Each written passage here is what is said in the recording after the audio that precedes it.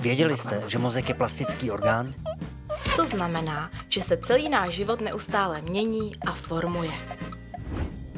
Dokonce se nedávno zjistilo, že neuronální sítě dokážou měnit své uspořádání v reakci na nové informace a změny prostředí. Pro jeho správný vývoj jsou ale kritické první tři roky života.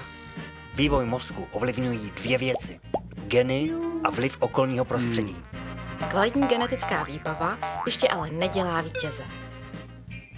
Významně se totiž uplatňují právě vlivy okolního prostředí, jak pozitivní, tak i negativní. Náš mozek se ale dokáže učit celý život. A tak má smysl na sobě pracovat a neustále se snažit dávat mu nové a nové podměty k vývoji. Zaujalo vás to?